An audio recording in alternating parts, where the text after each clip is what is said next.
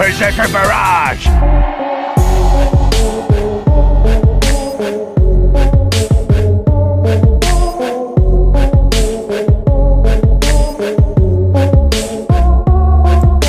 Como sabrán, bueno, la sección de noticias rápidas no puede faltar aquí en el canal. Y en esta ocasión, bueno, hay un montón de información más que buena. Como que ya sabemos el porqué de la demora del regreso de Dragon Ball. Yo ya lo había mencionado hace como dos años, yo creo.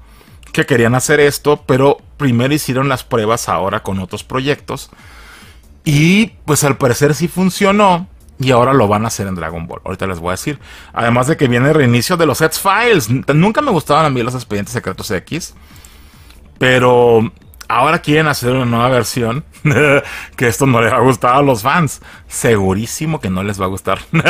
nada de nada. Ahorita que se enteren qué es lo que quieren hacer con esto. Y también vamos a hablar de la serie cancelada de X-Files. Porque hay una serie de animación que ya estaba casi terminada. Y la tiraron a la basura. Les voy a contar. Chisme sabrosongo tenemos ahora sí que darle. Vámonos. Hace tan solo unos días se pudo ver que se filmó una nueva escena para el Guasoncle 2 en las famosas escaleras de la primera película. ¿Se acuerdan donde bailaba el Joker? Que es una escena muy icónica. Eso de que quieran repetir escenas en la segunda película no me parece buena idea, pero bueno. En esta ocasión se puede ver que está bailando el personaje de Lady Gaga, es decir, Harley Francis Quinn, Harley Quinn. Y al parecer, esta traición al Joker porque se ve que le avienta a los policías encima y estos los policías agarran al Joker y se lo llevan. Entonces esto podría tener un giro similar al de la primera película. Empiezo a creer, porque he visto las tomas, que están repitiendo las mismas escenas de la primera película, pero ahora con el personaje de Harley Quinn. Y ahora ella le pone como las trampas al Joker y le aplica la misma al Joker. No me parece como que la mejor idea, debo decirlo. Eso es como, como repetir secuencias, repetir lo mismo. No me parece nada cool, debo decirlo, ¿no? Parece como, sí, como si estuvieran haciendo un remake del anterior. O sea, si ya la vimos, cabrón, ¿no? No me parece nada buena idea. Espero que no sea así y no la surren, pero bueno. Todo pinta que va a quedar, que no va a quedar muy bien que digamos, ¿no? Si la Lady Gaga se ve toda trucha, ¿no? De nomás, se ve toda pacheca, ¿no? Horrible, cabrón. A ver qué pasa. espero no la estén zurrando, pero no me da buena espina, debo decirlo.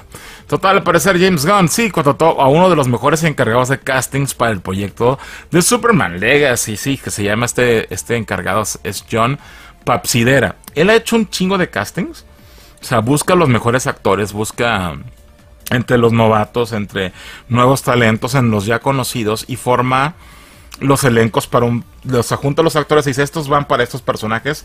Se los presenta al director y ya el director decide si se quedan o no. Este güey le trajo, por ejemplo, todo el elenco de Inception.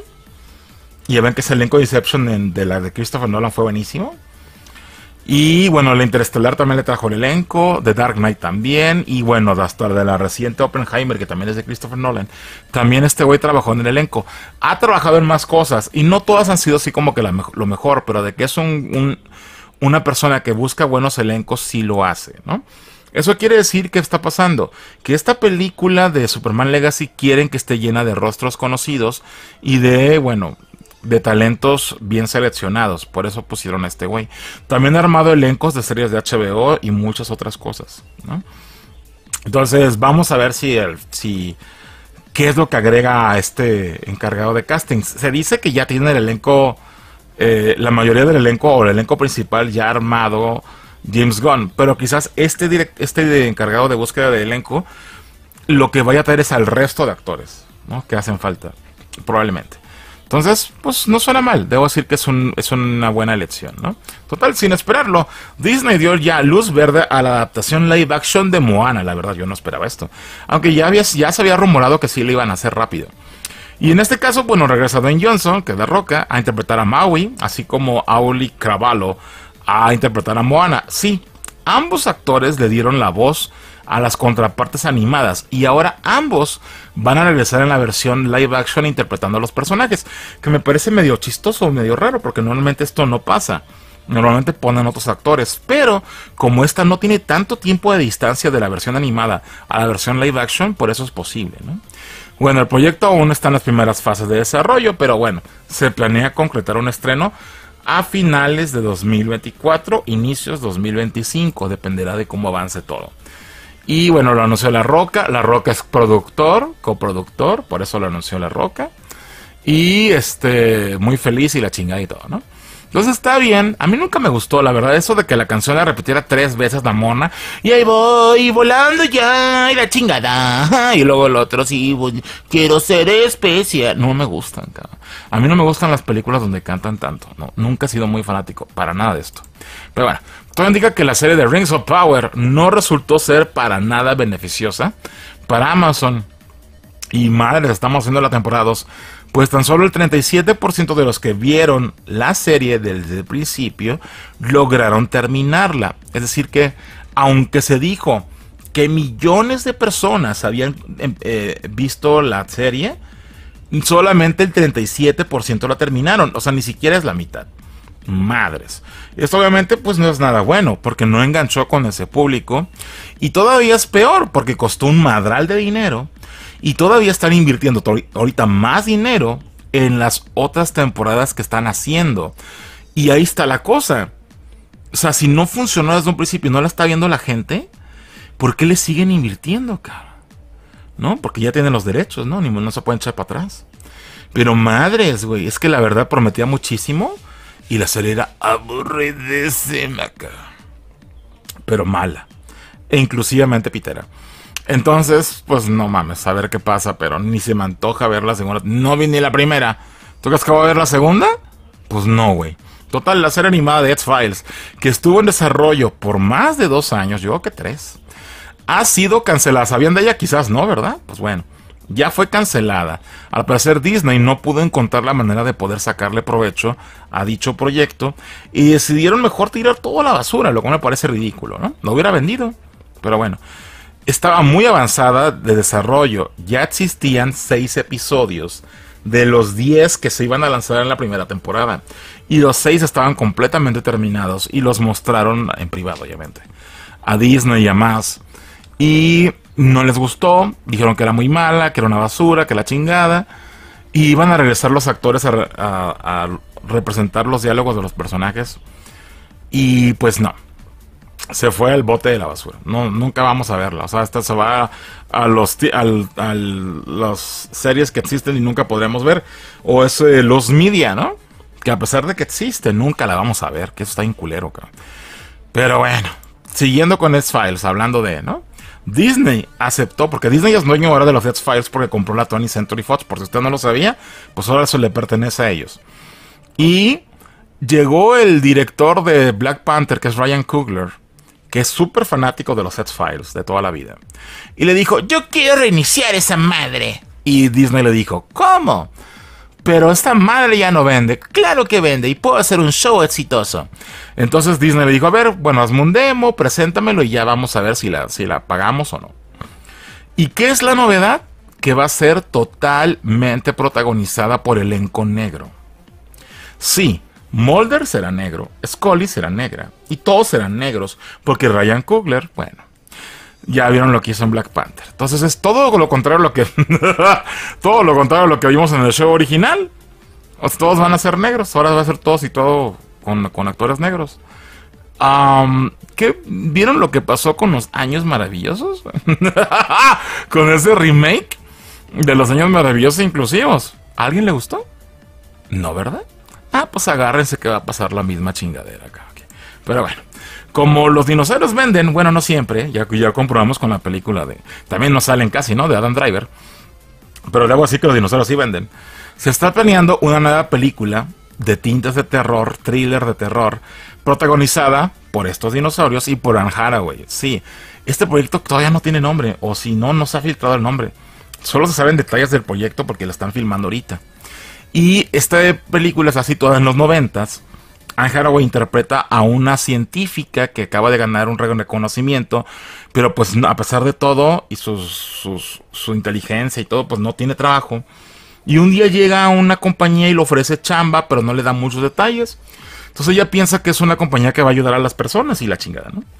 Y todo va y trabaja y todo perfecto, hace análisis y todo, y de repente dice, ¿y para qué se está usando todo esto que yo estoy aportando, ¿no? Y de repente le dicen, pues es que es un proyecto secreto. De repente ella le da por investigar y descubre que están haciendo dinosaurios, cabrón. Esto es pre-Jurassic Park, esto es antes. No está conectada con Jurassic Park, pero, pero esto es en los noventas, ¿no? En ochentas, perdón, los ochentas. ¿Aquí puso noventas? No, según yo es en los ochentas. Sí, aquí dice noventas, perdón, es en los ochentas, perdonen. No, en los noventas era Jurassic Park, eso es antes, en los ochentas. Y entonces ella dice, madres, ¿por qué diablos están recreando dinosaurios? Los quieren utilizar como un tipo de arma. Y evidentemente pues todo se sale de control, cabrón. Y ella pues tiene que intentar acabar con los dinosaurios también de vuelta, ¿no? No suena tan mal, digo. suena interesante. Suena, todo lo que tenga dinosaurios siempre me gusta, cabrón. Bueno, casi siempre. Entonces, suena súper interesante, no tiene un nombre, no me acuerdo cómo le decían, todavía el proyecto se está grabando ahorita, pero no sé más detalles, pero la verdad tenía que comentar esto porque me parece súper interesante. Díganme si a usted también le parece interesante. Total, aunque la primera película de Shang-Chi Miedo, Shang-Chi, estuvo lejos de ser exitosa, o por lo menos popular con el público, la secuela, la secuela, la secuela está actualmente en desarrollo, conociéndose que veremos por fin el debut de Jackie Chan en el MCU. Ya hablaron con él y dijo que sí, si me pagan bien. Entonces dijo que sí. Y bueno, eso sí, la que no regresa es Michelle Yeoh, que Michelle Yeoh, este, ahora que se ganó el Oscar, pues evidentemente va a querer pedir más lana y obviamente Disney no se lo va a pagar. Entonces ya se sabe que no va a regresar. Tiene ya muchos proyectos Michelle Yeoh ahorita en puerta. Pero no va a regresar en Shang-Chi Miedo. Y bueno, ¿por qué? Porque pedía más lana. Yo lo entiendo totalmente. Que, que aproveche el bug de haber ganado un Oscar y que pida lo que ella quiere. Qué bueno. Eh, total, Shang-Chi Miedo tendrá a Jackie Chan, pero perdemos a Michelle Yeoh, ¿no? Ahora sí que, como el dicho de, de, Tan, de, de las gemas, ¿no? Un alma por otra alma, tal cual, ¿no? Pero bueno, Taron Egerton mencionó que le gustaría que existiera una tercera película de Kingsman. Para su mala suerte de este actor, debo decirlo, la franquicia parece estar más que muerta. Sobre todo porque a la última le fue súper mal, que estuvo de la rechingada, que es esta precuela que, la verdad, yo no sé quién se le ocurrió hacer una precuela con nada de interés para nadie, cabrón. Para nadie, ¿quién le iba a ver, cabrón? Nadie. Y bueno, Disney no tiene planes de continuar con la franquicia, la tiene embotellada por ahora, así que no creo que vaya a existir ninguna otra película más de Kingsman, pues por lo menos por ahora. Yo creo que si en algún momento lo hacen, será algún reinicio en el futuro. Si es que existe la posibilidad, porque terminó quemadísima la, la franquicia, ¿no? Y bueno, yo creo que es lo mejor para todos. La primera es muy buena. La primera Kingsman me encanta, pero la 2 es una repetitiva de la primera y es como de más de lo mismo, es todo igual, cabrón.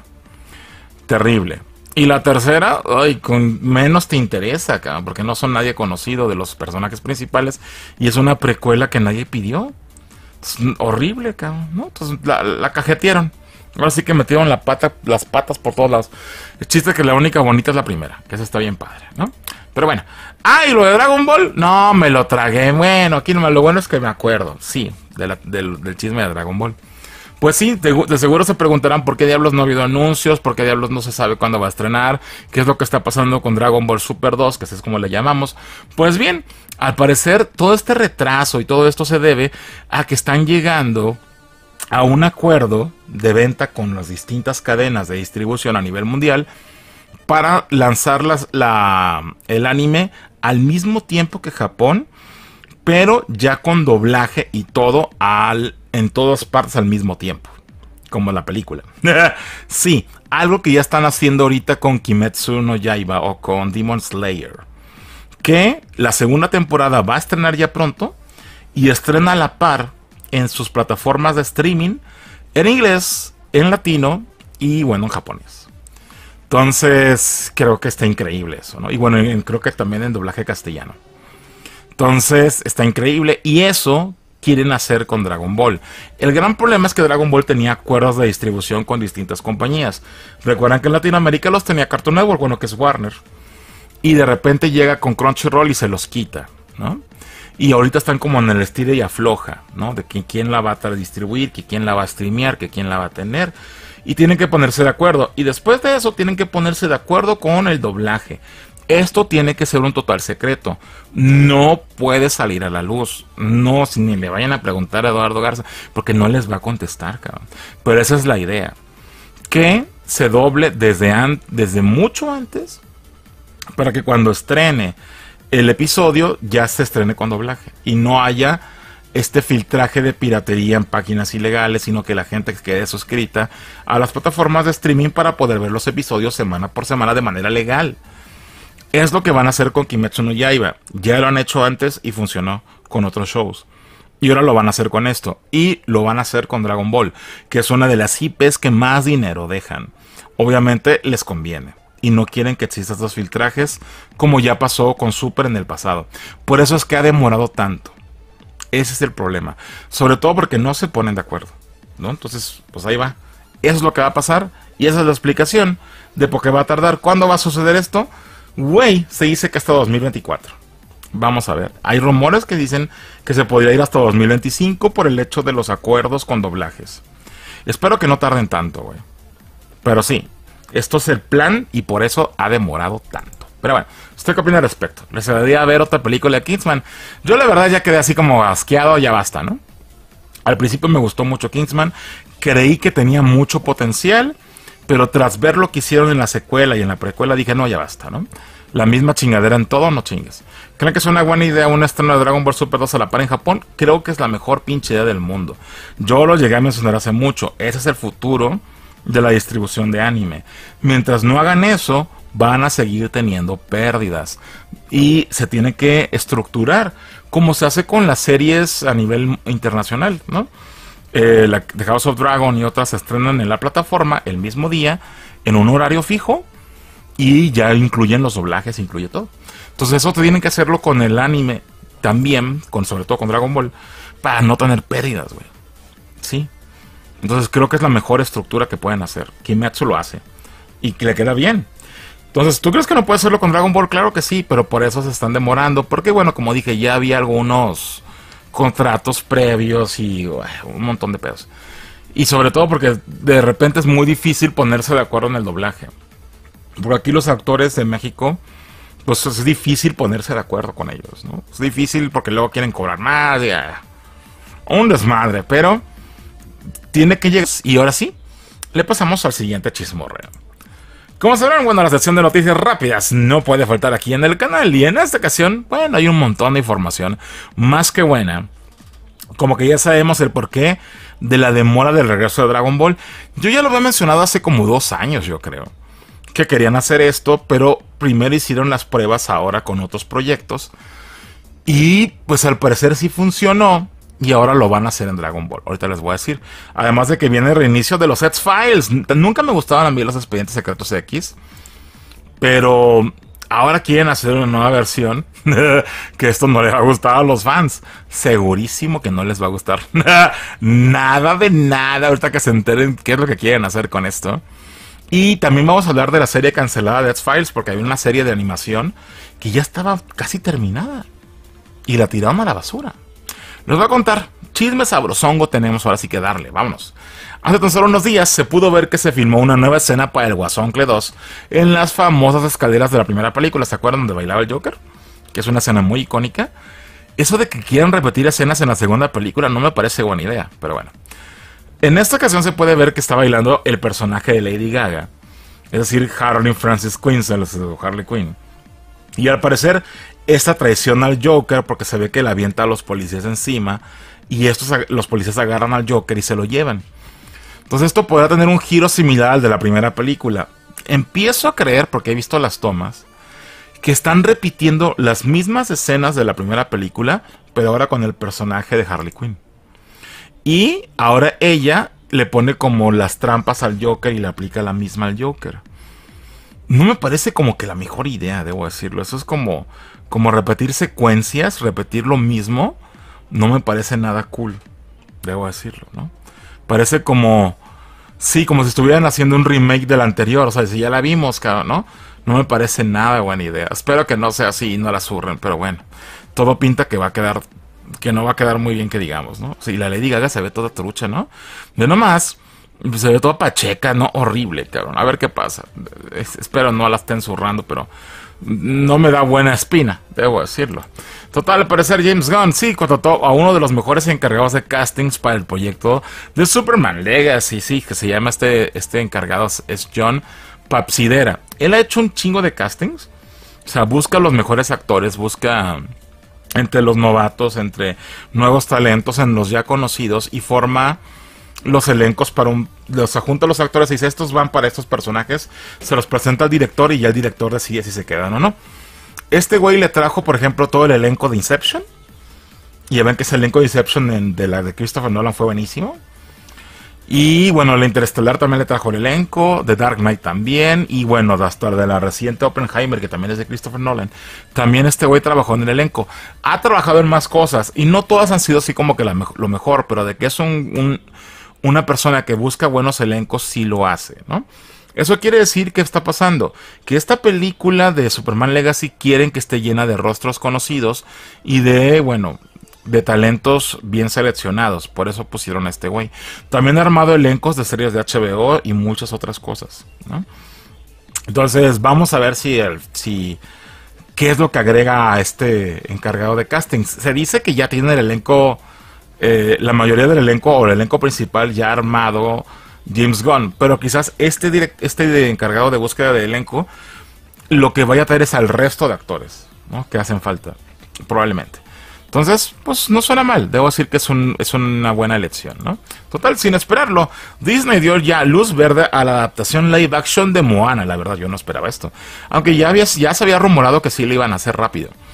Y en este caso, bueno, regresa Dwayne Johnson, que es de Roca, a interpretar a Maui, así como Auli Cravallo a interpretar a Moana. Sí, ambos actores le dieron la voz a las contrapartes animadas y ahora ambos van a regresar en la versión live action interpretando a los personajes, que me parece medio chistoso, medio raro, porque normalmente esto no pasa.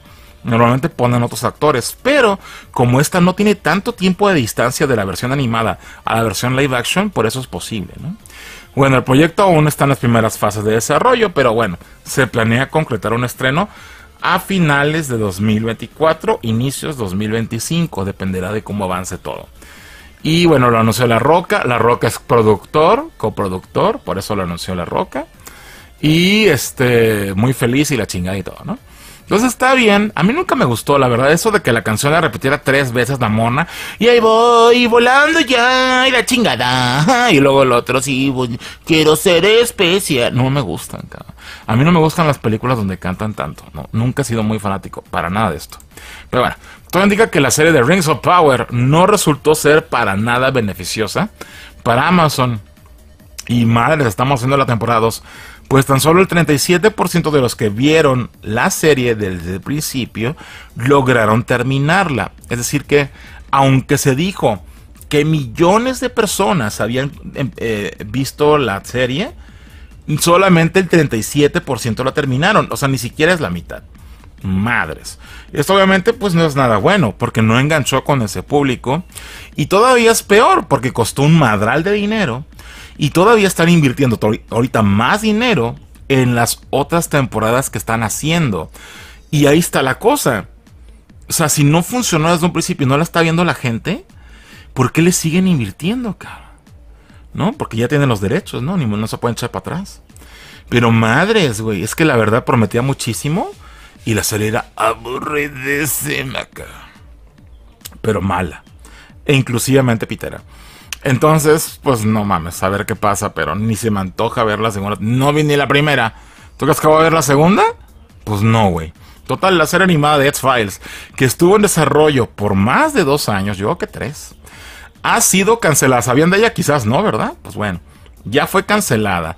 Al parecer Disney no pudo encontrar la manera de poder sacarle provecho a dicho proyecto y decidieron mejor tirar toda la basura, lo que me parece ridículo, ¿no? Lo hubiera vendido, pero bueno. Estaba muy avanzada de desarrollo, ya existían seis episodios de los 10 que se iban a lanzar en la primera temporada y los seis estaban completamente terminados y los mostraron en privado, obviamente, a Disney y a más. Y no les gustó, dijeron que era muy mala, que era una basura, que la chingada. Y iban a regresar los actores a, representar los diálogos de los personajes. Y pues no.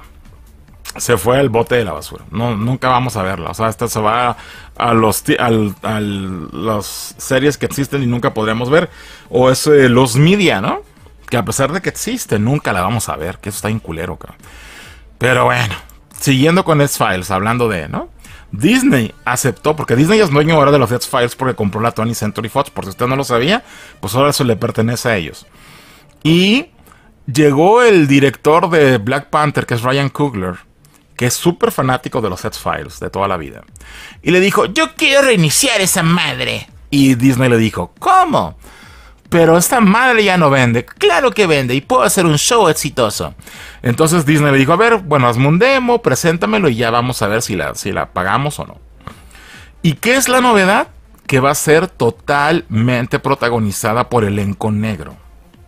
Sí, Mulder será negro, Scully será negra y todos serán negros porque Ryan Coogler, bueno, ya vieron lo que hizo en Black Panther. Entonces es todo lo contrario a lo que todo lo contrario a lo que vimos en el show original. todos van a ser negros, ahora va a ser todos y todo con, actores negros. ¿Qué vieron lo que pasó con los años maravillosos? con ese remake de los años maravillosos inclusivos. ¿A alguien le gustó? No, ¿verdad? Ah, pues agárrense que va a pasar la misma chingadera acá. Pero bueno, como los dinosaurios venden, bueno, no siempre, ya, ya comprobamos con la película de. También no salen casi, ¿no? De Adam Driver. Pero luego así que los dinosaurios sí venden. Se está planeando una nueva película de tintas de terror, thriller de terror, protagonizada por estos dinosaurios y por Anne Hathaway. Sí, este proyecto todavía no tiene nombre, o si no, no se ha filtrado el nombre. Solo se saben detalles del proyecto porque la están filmando ahorita. Y esta película está situada en los noventas Anne Hathaway interpreta a una científica que acaba de ganar un reconocimiento, pero pues a pesar de todo y su inteligencia y todo, pues no tiene trabajo. Y un día llega a una compañía y le ofrece chamba, pero no le da muchos detalles. Entonces ella piensa que es una compañía que va a ayudar a las personas y la chingada, ¿no? Y todo va y trabaja y todo perfecto, hace análisis y todo, y de repente dice, ¿y para qué se está usando todo esto que yo estoy aportando, no? Y de repente le dicen, pues es que es un proyecto secreto. De repente ya le da por investigar y descubre que están haciendo dinosaurios, cabrón. Esto es pre-Jurassic Park, esto es antes. No está conectada con Jurassic Park, pero, pero esto es en los noventas, ¿no? En ochentas, perdón, los ochentas. ¿Aquí puso noventas? No, según yo es en los ochentas. Sí, aquí dice noventas, perdón, es en los ochentas, perdonen. No, en los noventas era Jurassic Park, eso es antes, en los ochentas. Y entonces ella dice, madres, ¿por qué diablos están recreando dinosaurios? Los quieren utilizar como un tipo de arma. Y evidentemente pues todo se sale de control, cabrón. Y ella pues tiene que intentar acabar con los dinosaurios también de vuelta, ¿no? No suena tan mal, digo. suena interesante. Suena, todo lo que tenga dinosaurios siempre me gusta, cabrón. Bueno, casi siempre. Entonces suena súper interesante, no tiene un, nombre, no me acuerdo cómo le decían, todavía el proyecto se está grabando ahorita, pero no sé más detalles, pero la verdad tenía que comentar esto porque me parece súper interesante, dígame si a usted también le parece interesante. Total, aunque la primera película es Shang-Chi Miedo, Shang-Chi, estuvo lejos de ser exitosa o por lo menos popular con el público, la secuela, la secuela, la secuela está actualmente en desarrollo, conociéndose que veremos por fin el debut de Jackie Chan en el MCU. Ya hablaron con él y dijo que sí, si me pagan bien. Entonces dijo que sí. Y bueno, eso sí, la que no regresa es Michelle Yeoh, que Michelle Yeoh, este, ahora que se ganó el Oscar, pues evidentemente va a querer pedir más lana y obviamente Disney no se lo va a pagar. Entonces desde ya se sabe que no va a regresar. Tiene ya muchos proyectos Michelle Yeoh ahorita en puerta. Pero no va a regresar en Shang-Chi Miedo. Y bueno, ¿por qué? Porque pedía más lana. Yo lo entiendo totalmente. Que, que aproveche el bug de haber ganado un Oscar y que pida lo que ella quiere. Qué bueno. Eh, total, Shang-Chi Miedo tendrá a Jackie Chan, pero perdemos a Michelle Yeoh, ¿no? Ahora sí que, como el dicho de, de, tan, de, de las gemas, ¿no? Un alma por otra alma, tal cual, ¿no? Pero bueno, Taron Egerton mencionó que le gustaría que existiera una tercera película de Kingsman. Para su mala suerte de este actor, debo decirlo, la franquicia parece estar más que muerta. Sobre todo porque a la última le fue súper mal, que estuvo de la rechingada, que es esta precuela que, la verdad, yo no sé quién se le ocurrió hacer una precuela con nada de interés para nadie, cabrón. Para nadie. ¿Quién le iba a ver, cabrón? Nadie. Y bueno, Disney no tiene planes de continuar con la franquicia, la tiene embotellada por ahora, así que no creo que vaya a existir ninguna otra película más de Kingsman, pues por lo menos por ahora. Yo creo que si en algún momento lo hacen, será algún reinicio en el futuro. Si es que existe la posibilidad, porque terminó quemadísima la, la franquicia, ¿no? Y bueno, yo creo que es lo mejor para todos. La primera es muy buena. La primera Kingsman me encanta, pero la dos es una repetitiva de la primera y es como de más de lo mismo, es todo igual, cabrón. Terrible. Y la tercera, ay, con menos te interesa, cabrón, porque no son nadie conocido de los personajes principales y es una precuela que nadie pidió. Es horrible, cabrón, ¿no? Entonces la, la cajetearon. Ahora sí que metieron la pata, las patas por todos lados. El chiste es que la única bonita es la primera, que esa está bien padre, ¿no? Pero bueno. Ah, y lo de Dragon Ball, no, me lo tragué. Bueno, aquí lo bueno es que me acuerdo, sí, del, chisme de Dragon Ball. Pues sí, de, seguro se preguntarán por qué diablos no ha habido anuncios, por qué diablos no se sabe cuándo va a estrenar, qué es lo que está pasando con Dragon Ball Super 2, que es como le llamamos. Pues bien, al parecer todo este retraso y todo esto se debe a que están llegando a un acuerdo de venta con las distintas cadenas de distribución a nivel mundial para lanzar la, el anime al mismo tiempo que Japón, pero ya con doblaje y todo al, en todas partes al mismo tiempo, como la película. sí, algo que ya están haciendo ahorita con Kimetsu no Yaiba o con Demon Slayer, que la segunda temporada va a estrenar ya pronto y estrena a la par en sus plataformas de streaming en inglés, en latino y bueno, en japonés. Entonces, creo que está increíble eso, ¿no? Y bueno, creo que también en doblaje castellano. Entonces, está increíble. Y eso quieren hacer con Dragon Ball. El gran problema es que Dragon Ball tenía acuerdos de distribución con distintas compañías. Recuerdan que en Latinoamérica los tenía Cartoon Network, bueno, que es Warner. Y de repente llega con Crunchyroll y se los quita, ¿no? Y ahorita están como en el estilo y afloja, ¿no? De que quién la va a distribuir, que quién la va a streamear, que quién la va a tener. Y tienen que ponerse de acuerdo. Y después de eso tienen que ponerse de acuerdo con el doblaje. Esto tiene que ser un total secreto. No puede salir a la luz. No, si ni le vayan a preguntar a Eduardo Garza, porque no les va a contestar, cabrón. Pero esa es la idea. Que se doble desde, desde mucho antes para que cuando estrene el episodio ya se estrene con doblaje y no haya este filtraje de piratería en páginas ilegales, sino que la gente quede suscrita a las plataformas de streaming para poder ver los episodios semana por semana de manera legal. Es lo que van a hacer con Kimetsu no Yaiba. Ya lo han hecho antes y funcionó con otros shows. Y ahora lo van a hacer con esto. Y lo van a hacer con Dragon Ball, que es una de las IPs que más dinero dejan. Obviamente les conviene y no quieren que existan estos filtrajes como ya pasó con Super en el pasado. Por eso es que ha demorado tanto. Ese es el problema. Sobre todo porque no se ponen de acuerdo. ¿no? Entonces, pues ahí va. Eso es lo que va a pasar y esa es la explicación de por qué va a tardar. ¿Cuándo va a suceder esto? Güey, se dice que hasta 2024. Vamos a ver. Hay rumores que dicen que se podría ir hasta 2025 por el hecho de los acuerdos con doblajes. Espero que no tarden tanto, güey. Pero sí, esto es el plan y por eso ha demorado tanto. Pero bueno, ¿usted qué opina al respecto? ¿Les debería ver otra película de Kingsman? Yo la verdad ya quedé así como asqueado, ya basta, ¿no? Al principio me gustó mucho Kingsman, creí que tenía mucho potencial, pero tras ver lo que hicieron en la secuela y en la precuela dije, no, ya basta, ¿no? La misma chingadera en todo, no chingues. ¿Creen que es una buena idea un estreno de Dragon Ball Super 2 a la par en Japón? Creo que es la mejor pinche idea del mundo. Yo lo llegué a mencionar hace mucho. Ese es el futuro de la distribución de anime. Mientras no hagan eso, van a seguir teniendo pérdidas. Y se tiene que estructurar como se hace con las series a nivel internacional, ¿no? Eh, The House of Dragon y otras se estrenan en la plataforma el mismo día, en un horario fijo, y ya incluyen los doblajes, incluye todo. Entonces eso te tienen que hacerlo con el anime también, con, sobre todo con Dragon Ball, para no tener pérdidas, güey. Sí.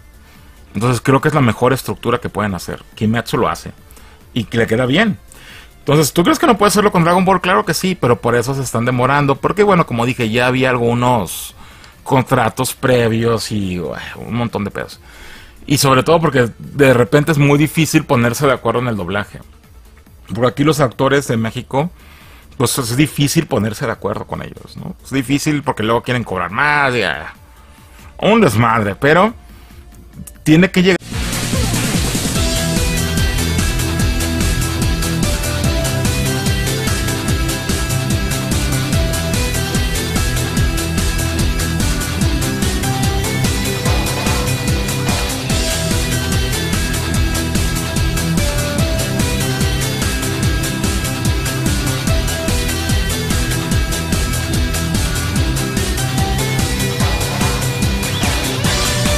Berserker Barrage.